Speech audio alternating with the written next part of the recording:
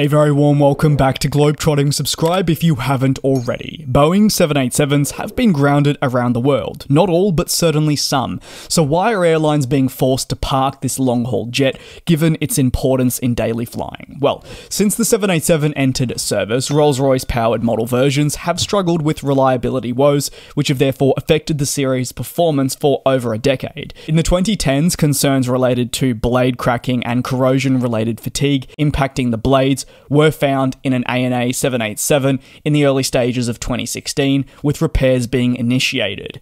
However, nowadays, the global supply chain crisis has affected engine manufacturers right around the world, notably Rolls Royce's Trent 1000 engines, which impacted 787 customers. Rolls Royce has stated that it continues to have problems acquiring the raw materials required to produce parts for the Trent 1000 engines, and as a result, the number of new engines produced has significantly reduced in number, which then goes on to affect the output rate. Therefore, Boeing requires the new engines to build the 787s to get them in the skies, and if this isn't taking place, well, then your output is just not going to be where it needs to be. However, airlines with the 787 in their fleet with these engines are also feeling the effects, as the repairs for in service planes are significantly delayed due to a lack of spare parts and a hefty build-up for engines requiring maintenance.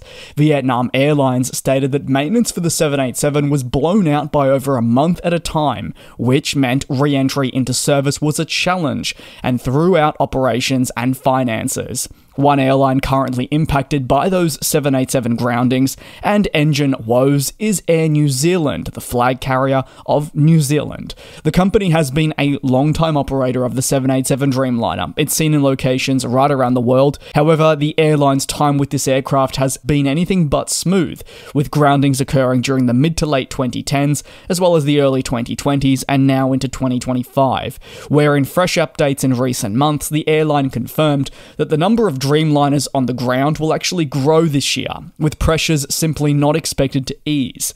Therefore, Air New Zealand is forecasting an increase in the number of planes on the ground in the second half of 2025, with units parked ranging from 10 to 11. This figure is an increase on the 7 to 8 planes grounded across the first half of 2025, and even more of a significant rise from the 5 to 6 in the second half of last year. So, Air New Zealand has also been forced to change its global route network, specifically focusing on markets served by the 787. Given the restricted capacity, it doesn't make sense to continue to some international markets. Whether that is Seoul or Chicago, we have seen routes axed. It's an unfortunate turn of events, but one that is absolutely necessary to ensure that this is a company that can solidify itself for the future.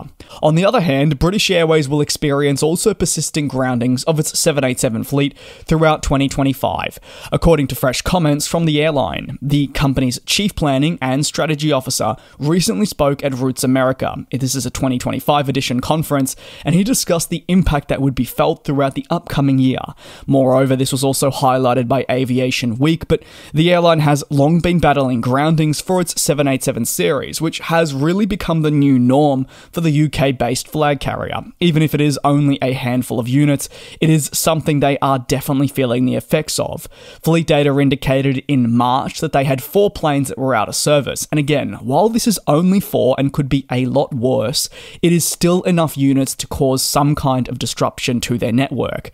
One of their struggles more so is not that four units are necessarily pulled from service, but it is the lack of certainty on when engine complications will conclude and they can get these planes back in the skies. If you say have a washing machine at your home not working and you're told it will be fixed in a week and a half, you can plan for that week and a half with the knowledge that in two weeks you'll be using using it. But if you've got a washing machine that's broken, you're told it'll be fixed in a week and a half, and then three weeks later it's not. You can see how that can throw some potential hiccups, and add that on a scale of an airline and not washing clothes, you can certainly see how four units definitely would cause some kind of disruption. There is generally a lack of certainty on when aircraft engines will be inspected, when spare parts will arrive, and how long maintenance periods will continue.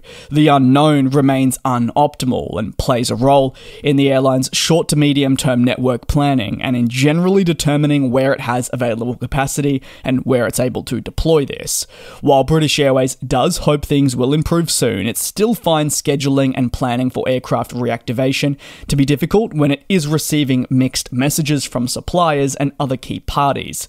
To cope with the 787 groundings, British Airways has made its schedule leaner and more capable of dealing with the lack of capacity in recent years. This is expected to continue throughout 2025, with several changes announced at the end of 2024 as part of ongoing network optimization efforts and to prepare for the grounding of 787 aircraft.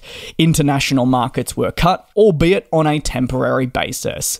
I'm keen to hear your take on the 787. There's been a lot of challenges from top to bottom with this plane across the last 10 years, and now in 2025, we're reaching a point where obviously the impact is worse on some airlines, other companies are far more outspoken, but it is a very real consideration when examining airlines' financial results. I hate always bringing it up, but it is tough to ignore. On every occasion that these aforementioned airlines publish their financial results, typically at the top is their results are based on a challenging operating environment, and that is really led by an inability to have all their planes in the skies. That would be the best case scenario. That would be what you would expect your planes actively flying, and if they can't, well, they're going to throw curveballs balls left, right, and centre. Thank you very much for tuning into this video here on Globetrotting. I appreciate the support. Take care, be safe, and I'll see you in a couple of days for your latest industry analysis right back here on Globetrotting. And we'll